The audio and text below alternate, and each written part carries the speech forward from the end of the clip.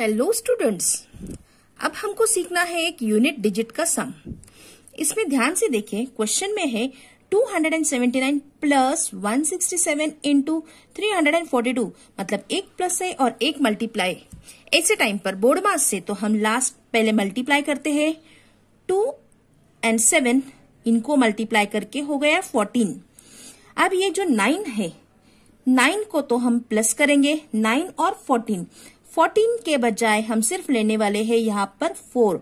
So nine plus four हो गया thirteen and your your answer is thirteen तो इस तरीके से यूनिट डिजिट के सम्स आप सॉल्व करते हैं। ऐसे ट्रिक्स के लिए चैनल को सब्सक्राइब कीजिए। Thank you